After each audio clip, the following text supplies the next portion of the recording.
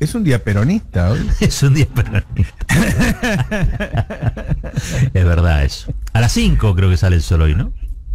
Bueno, es que, viste, está, ahora está en los diarios el, proyecto para adelantar este el, mínimo vital y que, que, iba a llegar a una cifra de 48, creo que era, este, dentro de unos meses, y la idea es que, surja todo ahora por, el fuerte incremento de la inflación, y a eso se suma un anuncio dentro de una hora, a las 10 de la mañana, que dicen sería en beneficio de millones de jubilados.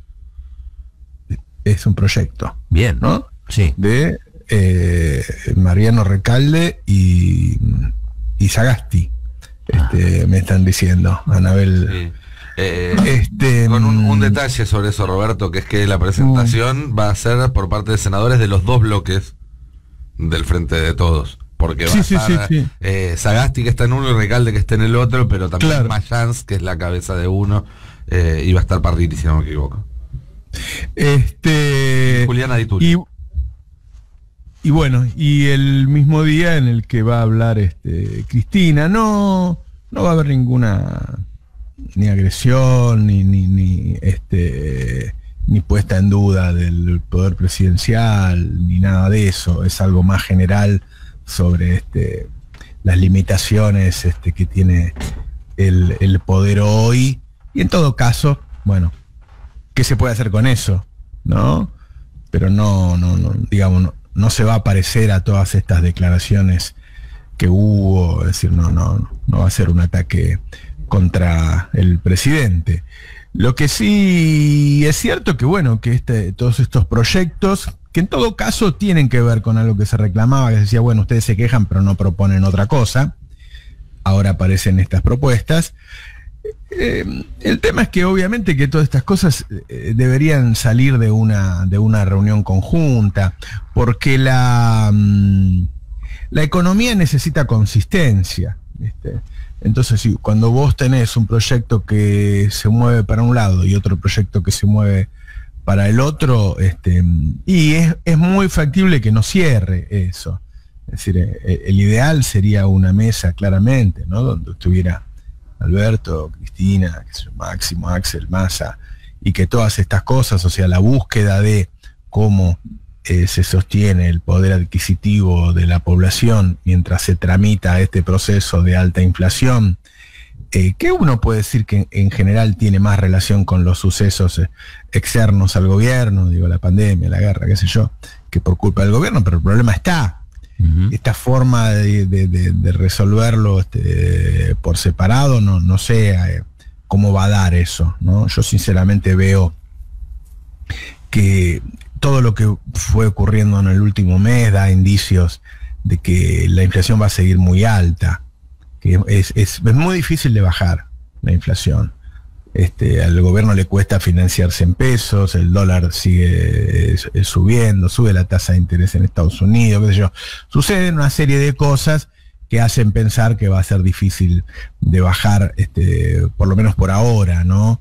Entonces, de qué forma eso se puede tramitar o buscar algún, qué sé yo, como decimos nosotros, para, por lo menos para el tema de alimentos, este, si va a haber cupos, si va a haber retenciones, una política de ingresos. A mí me parece cuando vos estás tan finito, es decir, claramente tenemos problemas para acumular reservas, este, cuando vos estás tan finito, quiero decir, viste la frazada corta, que vos tirás de un lado, ¿no? Te destapa los pies, o sea, tirás de acá, te quedas sin reservas, tirás de allá, no tenés pesos para financiarte este, mm, entonces, estas políticas, que yo entiendo, porque bueno, como se van de alguna manera, se van conformando dos bloques cada vez más delineados, ¿no? Más nítidos en el seno del gobierno, es lógico que cada uno tenga su, su, su formato, sus proyectos y qué sé yo, porque vos no podés diferenciarte solo tirando piedras, ¿no? Me parece que eso en algún lugar se acaba. Entonces era más o menos obvio y esperable que en algún momento empezaran las propuestas. Ahora, eh, un proyecto, un, gobierno con un proyecto económico consistente ya es difícil de lograr. Eh, un proyecto consistente en medio de una pandemia, y recalco la pandemia porque están subiendo mucho los casos, y no sé qué va a pasar con la fuerte suba de casos que está viendo, ya, todos conocemos gente que se está este, enfermando, ¿no? Lo mirás en las redes y aparece. Este, y, y, con la guerra que se está expandiendo, es más difícil un proyecto consistente. Y bueno, y si además las medidas las toma este, Guzmán por un lado y, este, y el equipo de Cristina por el otro, la, la, posibilidad de, de, conformar algo consistente. ¿Consistente para qué? Para que no se vaya el dólar a la mierda, para que no te quedes sin reservas, pero que a la vez haya una política de ingresos que haga que la población sobreviva a esta hecatombe de precios.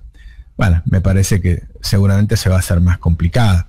Y en, y en estos días a mí me llama la atención, me llama la atención que ante todo esto Guzmán este, haya hecho, y me cuesta pensar en las casualidades, qué sé yo, haya hecho dos reuniones, una en el Yao Yao y otra en el Hotel Alvear, con, los popes del Círculo Rojo, y este, y terminen aplaudiéndolo, y Urnequian felicitándolo, y qué sé yo, porque yo no lo tengo para nada a, a Guzmán como un hombre que representa esos intereses. De hecho, prácticamente nunca lo he visto yo reunido con esa gente. Pero bueno, el ministro debe saber, supongo, que si, aparece dos días seguidos este, en ese ámbito, en momentos en que el reclamo viene desde los más humildes y que ministros que lo rodean a él le están diciendo, eh, anda, camina a los barrios, métete en una fábrica, aparece más conectado este, con la gente y el laburo y qué sé yo, esa, esa señal de me respaldo eh, en el establishment. Este, mm, bueno, no, no, no, no sé si, si, le, si sentirá que le da estabilidad, qué sé yo. Este, a mí me suena raro, si yo fuera amigo de él no se lo, no se lo aconsejaría, qué sé yo, no sé.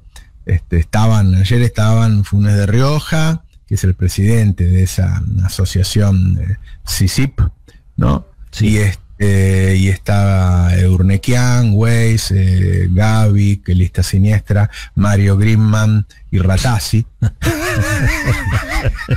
Qué lista siniestra. Sí. Este Ratazzi, ¿no? Sí. Este, que es como un antiperonista Ratazzi, ¿no? Es como casero Ratazzi, ¿viste? Incluso mm. dice cosas parecidas. Eh, Alfredo, digo, ¿no? Este, me llamó la atención, me llamó, vos que yo tengo diálogo con, con Guzmán. Este, me llamó la atención. Después la otra versión que tiran ahí una parte del gobierno, no, no oficialmente, no la vocería del gobierno, nada, ¿viste? No, bueno, Scioli es del albertismo, y entonces si no juega Alberto, juega Scioli, qué sé yo.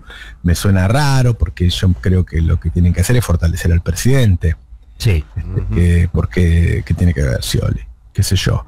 Pero ahí eso habla de, distintos fragmentos del, gobierno, ¿no? Porque hay una parte del gobierno que dice eso. Los números que tienen para mostrar siguen siendo buenos, porque, digo, el, primer trimestre industrial cerró con una suba del 3,7 respecto al primer trimestre del año pasado, donde había volado, donde había crecido como un 14, qué sé yo. De hecho, ya está 10% arriba del primer trimestre de 2018, que, que no, no, fue el peor momento de Macri. El peor momento de Macri empieza en abril-mayo de 2018. ¿Se acuerdan cuando el dólar este, se va de 18 a 30 pesos? Claro. O sea, esta industria en este momento está 10% arriba del primer trimestre de 2018, cuando todavía no había empezado la crisis de Macri. Quiere decir que la industria está con un crecimiento muy, muy vigoroso. Este, pero bueno, me, parece complicado, me, parece razonable que el kirchnerismo salga con propuestas que seguramente van a ser bienvenidas y, este, y que yo creo que deberían surgir de eso, de una mesa, ¿no? ¿Quién puede estar en desacuerdo con que, o sea, esto de los aumentos en cuotas, o sea, vos te van a dar, te dan un aumento para qué? Para recuperar lo que perdiste en el año que pasó, ¿no? Este, y te lo dan dividido en todo un año para adelante. ¿Cómo? O sea, te lo va comiendo, ¿no? Y no estás hablando de 100 mil pesos, estás hablando, perdón que no me acuerdo la cifra justa, pero creo que están hablando de 48. 48 mil pesos, sí. 48 al, final de la serie. Sí. Entonces es, más que razonable pedir que suceda todo junto. Este, no sé cómo es lo de los jubilados, pero debe tener un buen porte si están hablando que va a beneficiar a millones de personas, de jubilados. Este, y eso debería salir de algo, de, una reunión de, todos. Pero bueno, qué sé yo, indudablemente, si no se quiere compartir, vamos a transitar esto. Eh, yo consulté sobre eso del acto, viste, que muchos decían no, porque pusieron una unidad ciudadana para pasar a remarcar la diferencia. Me dijeron que, que, no, que es así, que es el que siempre usan, que el acto va a ser muy parecido al modelo de Sinceramente y que va a ser el primero de varios, cada uno interprételo como quiera. Este, es decir, mm. Cristina haciendo actos, pero bueno, la otra vez dijeron que era, si Cristina hacía actos seguro iba a ser presidenta y después no, no se presentó, ¿no? Pero sí me parece que sí representa eh, dejar plasmado un, conjunto de ideas y sostenido en el tiempo, una serie de actos, ¿no? Y este, van unas 10.000 personas y después va a salir a saludar afuera a la militancia el acto va a ser con, un tono muy parecido al de sinceramente. Con lo cual, a ver, si uno suma, cada uno, viste, como cada uno se arma su relato con los datos que hay tirados sobre la mesa. Porque si vos decís, bueno, pero eh, Cristina empieza a hacer actos para hablar de cómo equilibramos el poder en época de corporaciones y de medios que manipulan a la población y qué sé yo, y, Guzmán se va al Yao Yao y al Alvear y ahí parece que estuviera tomando dentro del mismo eh, gobierno una posición eh, conservadora y una posición, si querés, de izquierda, progresista y qué sé yo. Y a mí, sinceramente, me parece que, bueno, si se quieren diferenciar para ir una paso o lo que sea, puede ser. No me parece que las diferencias sean tan profundas. Este, no, no, no, no, no me parece que sea eso. Este, pero está claro que se está delineando, que se están delineando dos sectores. Y yo te diría una cosa. Eh, yo no sé si los jugadores que están ahora en cada sector van a ser los mismos que eh, van a estar en cada sector cuando se presenten en el caso que haya una paso, o que se dividan, o que se dividan, o que se dividan. No lo sé. Me parece que muchos dudan. ¿no? Y eh, sobre todo si, si, Cristina juega, ¿no? Lo que pasa es que, viste, que vos, yo no creo que ella se manifieste al respecto vas a tener que tomar la decisión antes. no, Me parece que, a ver, Cristina recuperando la iniciativa política o mostrándose más incluso con estos actos o lo que sea, este, da una señal. Creo que eso impacta en el resto, Podemos decir sin riesgo de equivocarnos que si bien no sabemos al día de hoy si Cristina va a ser o no candidata el año que viene, sí sabemos que Cristina quiere que tengamos esa posibilidad en consideración. Está muy bien eso. Exactamente. Puso esa ficha en el tablero. No significa que la vaya a jugar, pero ahora está arriba del tablero. Hace tres meses no estaba arriba del tablero. Creo que en todo caso eh, ese es el, punto del cual hay que empezar a tirar de lo hizo. Después lo que haga con eso creo que ni ella debe tener una decisión tomada porque depende de un montón de factores. Digo, no es lo mismo el frente de todos el año que viene si la inflación de diciembre de 2022 está en 5 puntos que si está en 2,8. Para poner, digo, ni un ejemplo demasiado alto ni uno demasiado bajo. Eh, no es lo mismo si finalmente se anticipan las elecciones en 15 provincias o se anticipan en 6 o 7. Mm, no es lo, mismo si enfrente hay un Juntos por el Cambio todo junto y una ultraderecha marginal o si hay un sector más importante de ultraderecha con Macri incorporado, Bullrich incorporado y una vía por el medio. Eh, digo, hay, muchos factores que hoy en día nadie sabe y que van a influir en la decisión que tome Cristina, seguramente. Yo no sé, viste, si, sigue esta estrategia de diferenciación y, las encuestas le muestran que le sirve, este, eh, en realidad después se cinde un poco de la suerte del gobierno, ¿no? Si, logra presentarse como oposición estando adentro, que es una alquimia rara. Pero bueno, hay un. Eh, habrán, eh, habrán comentado quizá la, nota que publica hoy Fernando Siveira, que es una encuesta de analogías que dice que un 40% de, de los argentinos consultados por esta encuesta cree que ganaba eh, mejor, que tenía mejor poder adquisitivo con Macri que con Cristina. Eso es, este, es muy contundente. Uno puede decir que es el mismo 40% que vota a Macri, pero que vote a Macri no necesariamente, porque vos podés decir, no, sí, la verdad que con Cristina estaba mejor, pero es una chorra, qué sé yo, ¿no? O es una antirrepublicana, una dictadora, todas las cosas que le dice la población que tiene que pensar.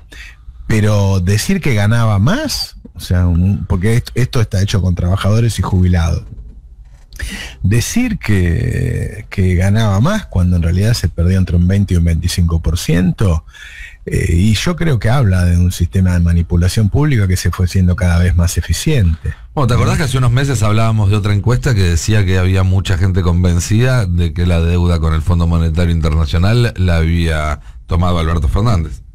Así es. Así Ellos han hecho dos cosas, ¿no? Han trabajado constantemente en la demonización de Cristina.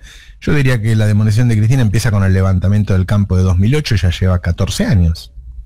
14 años, sí. ¿no? 14 años. Una persona que tiene 30 y que empezó a pensar en política a los 16, solo escuchó cosas negativas de Cristina. Negativas a nivel, qué sé yo, ¿no? Este, muy, muy, fuerte, digo, no comentarios así nomás. Este, no, que está equivocada, sino que mafiosa, que chorra, que o sea. Exactamente, exactamente. es cindido totalmente de los datos que van saliendo de la misma justicia. Digo, cuando Ercolini se declara este, a favor de ella, qué sé yo, Ercolini es, Ercolini junto con Bonadío eran, ¿no? o sea, todos sabemos que son causas armadas para que se queden en los medios unos años, pero no para cerrarse así, porque si no es prevaricato, ¿no? Entonces el juez no quiere incurrir en un delito, quiere simplemente que sus acciones salgan en los diarios. Claro. Y, salir, y salir limpio de eso y mantenerlo en los diarios. Este, mm, pero digo, además de seguir con el trabajo de demonización con Cristina, blanquean, le echan la bandina a Macri, a Bullrich, a todos los que hicieron ese desastre en los cuatro años. Por lo tanto, te encontrás con una porción del electorado. y guarda que está hecho por analogía, no por Jacobe, digo, ¿no? Sí. no, sé si trabaja directamente para la cámpora, pero trabaja, trabaja muy bien, son gente seria, pero digo, no es alguien que está en contra, ¿viste? De Jacobe, publicano Cristina mide menos dos, ¿viste? Este, analogías no. no bueno, analogías encuestas. Digo, vaya, ah. hace las preguntas efectivamente y todo. Exactamente, exactamente, exactamente. Pero es un dato muy impresionante, ¿eh? muy impresionante. La nota de Siberia la recomiendo, la de hoy, este, porque da, cuenta de, un fenómeno muy grave. Bueno, la verdad, qué sé yo, si uno pusiera en una balanza las acciones de cada uno en el contexto que vivió cada uno, Cristina, digo, debería estar ahí arriba de todos y Alberto también debería estar arriba de Macri, porque Macri no tuvo una pandemia y una guerra. Él la, rompió solita la economía, ¿no? O, digo, que Alberto lleva a la industria un, 4, un 10%, un 10% arriba del primer trimestre de 2018, primer trimestre de 2018, fue inmediatamente después de ganar las elecciones de 2017, ¿no? De medio término, con un dólar a 18, todavía no se había disparado el dólar. el dólar costaba casi lo mismo que después que devaluó Prat que estaba en 15. Este, sí, en abril del 18 es cuando empieza el dólar a irse a 20 primero, 22, 24, 30, 32. Todavía no había pasado nada y él ya estaba rompiendo la industria. Y sin embargo, claramente la gente no tiene registro, porque además hay encuestas en donde ahora Macri ya aparece como el candidato con mayor intención de voto de su sector. ¿No? Quizás es momento de pelearse, ¿no, Roberto? Digo, pelearse en serio, porque estar bien con Dios y con el diablo me parece que es como, como dijese mi vieja, no se puede. Y esto de tenerlo a Guzmán siendo aplaudido por el sector más concentrado del empresario, básicamente porque les da lo que el empresario quiere escuchar. Digo, eh, reducción del déficit, eh, no les toca los intereses, y por el otro lado tenés otros funcionarios que sí se están peleando quizás con, menos herramientas eh, contra, contra el sector empresario. Entonces tenés al empresario aplaudiendo y muy enojado a la población porque siente que no, no, no se siente representada en esta, en esta en esta lucha. Claro, es una estrategia de sobrevivencia, de estabilidad en su puesto, pero que electoralmente... No funciona. Eh, y yo creo que no, porque además esos tipos son los que te van a hacer el golpe, ¿eh? Claramente. Esos, tipos son los que te van a hacer. Y además van en contra de sus propios intereses de largo plazo, porque reducís el consumo para mantener el dólar. Eh, a ver, todavía no están. El, sector agroexportador ya está empezando a retasear un poco la liquidación porque está esperando a que eh, la Argentina, bueno, lo decías ayer vos con el tema del Banco Central, que el Fondo Monetario levanta el teléfono y le dice devaluame un poco más eso lo sabe el sector exportador, entonces empieza a esperar a ver en qué momento adecua el tipo de cambio. Para evitar eso y que la gente vaya a dolarizarse, sube la tasa de interés. Yo recuerdo haber hablado con el Banco Central y me decía, bueno, la vamos a subir un poquito, no vamos a llegar a lo de Macri de llevarla al 70%. Ya estamos en una tasa real del 50 y pico, y si la inflación va a estar encima del 60 y vos la vas a igualar a, la inflación, vas a terminar con una tasa que te va a congelar la economía, que te va a congelar el consumo y que te va a congelar la actividad.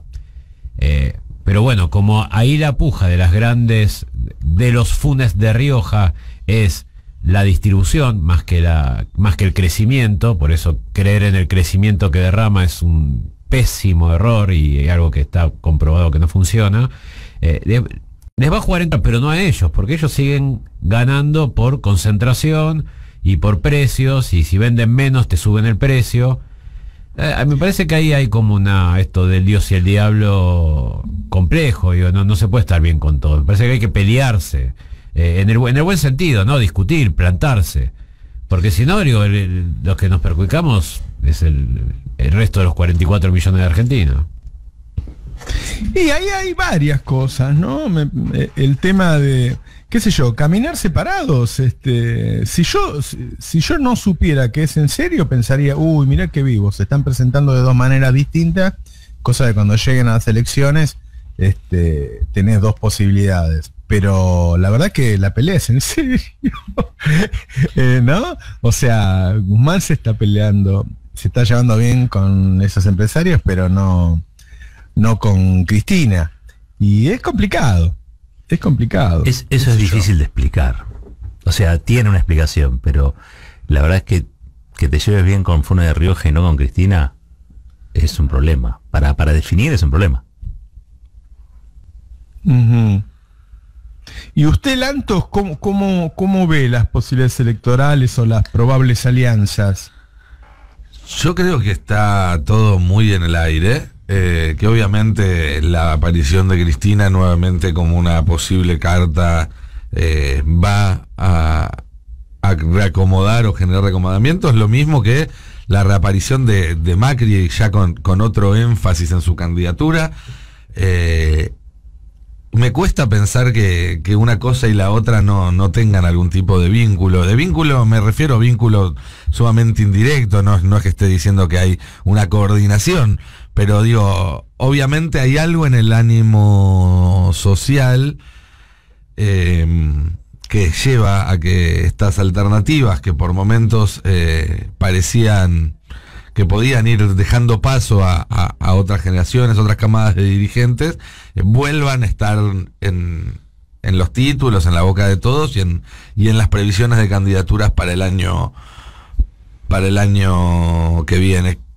Eso, y acá ya entramos en terreno especulativo, puede ser, si se quiere, una última chance que le esté dando la sociedad a la política antes de ir directamente por una opción mucho más outsider, ¿no? Bueno, a ver, ustedes que fueron los que tuvieron en sus manos el poder en los últimos 15 años en la Argentina, 20 años en la Argentina, una en, el oficialismo la mayor parte del tiempo, el otro en la oposición, aunque también durante cuatro años fue al revés. Eh, bueno, resuélvanlo ustedes en vez de ir con otros candidatos, con otras figuras, con otras cosas, eh, y si no lo pueden resolver entre ustedes, o, el de ustedes que quede eh, ganando de esa, de, esa elección final, bueno, ahí sí, ya la siguiente opción sería un Milei o algo peor. Em, pero sí, creo, creo que hay una cosa de la sociedad argentina de decir, bueno, necesitamos que alguien solucione esto y, de, y de, ante la falta de algún emergente, eh, ir a buscar a quienes se sabe que son los, los, que tomaron las decisiones y los responsables de, acumular poder más fuerte en cada uno de los dos polos durante los últimos años. Eh, veremos igual si esto termina siendo lo que suceda en el 2023, como, como siempre decimos en Argentina, un año y medio son dos siglos eh, y puede cambiar mucho.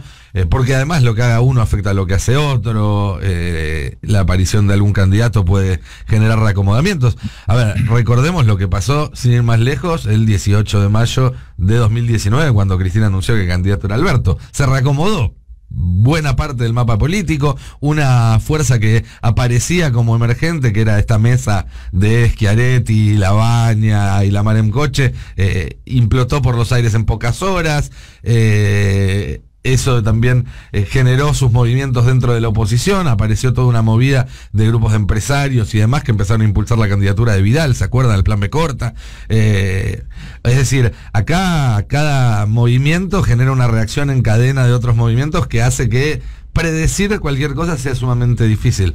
Sí creo que el fenómeno de la reaparición de Cristina y de Macri en roles protagónicos eh, da cuenta de que está pasando algo y de que sobre todo lo que dice es que quienes aparecían como opciones superadoras, los Alberto, los Massa, los Larreta, las Vidal, eh, no están conectando con la sociedad, con cada uno con su parte del electorado, como si supieron conectar Cristina y Macri. Eso parece Bueno, es que todo lo que, lo que huela a, centro, hoy que, que se está buscando la demonización de la política, huele más a, a, establishment, a casta, como le quieran, ¿no? Establishment político me refiero. Sí. Y, y, las posiciones más jugadas son las que son más buscadas por la gente que está eh, decepcionada. ¿no? Este, y después hay miradas distintas sobre el futuro. Digo, eh, Guzmán no dijo eso de lo peor ya pasó, es una frase que, que alguien, no sé, hizo una síntesis, él no había dicho eso. Pero piensa, obviamente, que ahora, a partir de ahora, la inflación va a ser descendente. Entonces el tipo dice, bueno, vamos a llegar con tres años de crecimiento, ¿no? Este, y con una inflación descendente que me va a permitir que el año que viene, entonces, el salario sí le gane a la inflación. Ese, es lo que él presenta. Y otros piensan que el deterioro del poder adquisitivo en general va a ser muy grande que bajar eh, la inflación es, este, es muy difícil sin desacoplar el precio de los commodities con retenciones y cupos y que entonces además eso no sería suficiente, de que entonces habría que ir hacia una política de ingresos y redistribución del ingreso mucho más este, agresiva. ¿no? Y bueno, este, los dos están mirando la meta, los dos están mirando el 23 de diciembre. Y por otro lado, claramente hay un problema de, origen de quién cada uno siente que tiene, eh, bueno, como le dice Cristina, el bastón, ¿no? La última palabra. claro, claro, claro. El tema es que ellos juegan, ¿no? Ellos, ellos, juegan y esa gente que se reunió con Guzmán en realidad este, juegan con los otros. O sea, hoy viste que todos nos enteramos quién financia a quién, ¿no? Y la verdad es que ahí estaban los que venían eh, financiando la campaña de la reta, este, y ahora aparecen financiando la de Macri cuando Macri se presenta como candidato y al mismo tiempo financian la de Milei. Esos son los tipos que estaban en el Show Show y, este, y en el Alvear. Y ellos apuestan a eso, aún si... A ver, va a venir la derecha, va a ser que ellos, este, que algunos de ellos este, que están atados al mercado interno pierdan guita y lo van a seguir votando. Y lo van a seguir. En Argentina hay gente que se jubiló con Cristina, que mejoró su situación con Cristina, este, que los hijos tuvieron un procrear y este y se hicieron su casa, que compraron por primera vez un cero kilómetro, que por primera vez alguien en su familia pudo ir a la universidad y odia a Cristina. Y odia a Cristina porque le enseñaron a odiar a Cristina. Y porque la política es una emoción, ¿no? No es una, aritmética, una cosa de sumas y restas. ¿Qué sé yo? En el fondo, uno, uno vota mucho por emociones, en general, ¿no? Me parece. Y este, entonces tenemos ahí una roca dura de, de, vencer. A mí esa encuesta de analogía, ya te digo, si hubiera sido de otro, ¿viste? Pero esa encuesta de gente que dice, no, yo vivía mejor con Macri que con Cristina. Sí, porque además duró mucho la crisis de Macri, ¿no? O sea, em, empieza en abril de 2018 y nunca frena, ¿te acordás que no, terminaba, no terminaba nunca? Duró hasta el último día. Entre las PASO y las generales el dólar se fue de 40 a 64. O sea, se fue eh, entre abril de 2018 y agosto de 2019 se fue de 18 a 40, 42. Y entre las PASO y la, y la elección se fue de, ese 40 a 42 a 64. Macri se pasó la mitad del gobierno en crisis. En 36 horas. Eh, esa suba fue 36 esa suba, horas. 36 horas, dos días y medio. De hecho hay una causa respecto porque el Fondo Monetario eh, ya, ya, estaba, ya se había acordado, le había dado una, un margen por el cual eh, el Banco Central, a partir de cierta suba de, de, de, disparada del dólar, le permitía intervenir por encima de un tope que le había dado para que no gastara reservas. El tope obviamente lo recontrapasó ya el primer día, que había, el primer día había sido casi un 15%, eh, y no intervino. De ahí es donde está esa investigación de si hubo una orden o no, que el propio expresidente del Banco Central, eh, Martín Redrado, eh, citando fuentes de su entorno que, conocía o ex compañeros, pues digamos, de, de, la autoridad monetaria, hubo una orden de no intervenir. Eh, al día siguiente lo mismo y recién el tercer día empezó a vender algo de reservas, pero ya había aumentado un casi un 33% en dos días y medio, dos jornadas y medio. Es raro, ¿no? Que un gobierno se vaya con semejante desastre y la gente esté dispuesta a volver a votarla así. Sí, me parece que Macri se fue con más poder, ¿no? Con cierto descrédito público allí, pero con más poder con el que, el que tenía, digamos. En un punto es lo que pasa también con las corpos. Las corpos después de esos cuatro años son más poderosas, y, me parece que estamos ante un problema. ¿Cuál sería la salida racional a este problema, no? Al problema político y al problema económico que tiene la Argentina. ¿Cuál es la salida racional en este, en este contexto? Cuando vemos que la irracionalidad también se expresa a través de esa encuesta que vos describís. Porque la verdad que es una cuestión absolutamente irracional decir que aquel que te perjudicó, este, aquel que te perjudicó es mejor que la que te benefició. ahí tenés un problema. Yo creo que hay un poco de enojo en esa encuesta. Más que nada. No sé si es una cuestión, no hay una respuesta racional. Hagamos todos los costos. A mí esa encuesta me dejó helado, la verdad. Muy fuerte. Porque antes no era así. Antes eh, eh, el, antiperonismo no. cuando vos indagabas un poquito, no había una cuestión económica. No te decían, no, a mí el, peronismo me empobreció. Sí el peronismo es autoritario, qué sé yo, se lleva por delante la república, son chorros, son degenerados y todas las cosas que han dicho de los líderes populares. Este, ahora decir que vivían mejor, la verdad, ¿viste? Y este, es muy fuerte.